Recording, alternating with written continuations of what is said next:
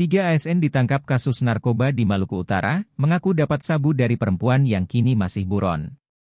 Polisi masih melakukan pendalaman terkait penangkapan tiga aparatur sipil negara, ASN, Pemkot Ternate, Maluku Utara, Malut, berinisial RJA, AFM dan MBD atas kasus penyalahgunaan narkoba.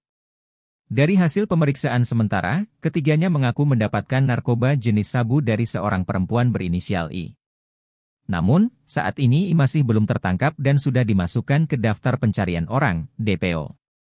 Hal itu disampaikan Kabit Humas Polda Metro Jaya Kombes Ade Arisham Indradi saat dihubungi, Kamis, 23 Februari 2024, malam.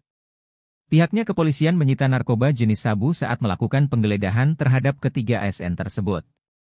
Saat ini, ketiganya sudah dibawa ke Polda Metro Jaya dalam rangka pemeriksaan tes urin dan pendalaman kasus itu.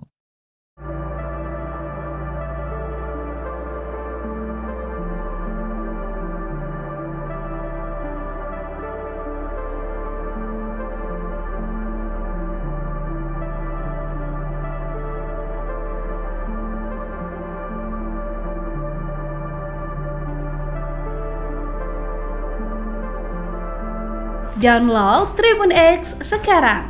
Menghadirkan lokal menjadi Indonesia.